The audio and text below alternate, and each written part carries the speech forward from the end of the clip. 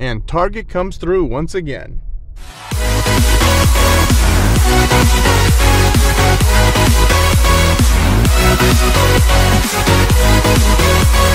I'm Bill here at Clearwater Target. We just saw Studio Series Mirage, number 105. Studio Series Nightbird, number 104. They've got the Stranger Things pizza. Haven't seen this guy in the stores yet. Pretty cool. Uh, let's see, what else they got? Uh, Shadow Striker, Crankcase, the Trius. Don't see much else.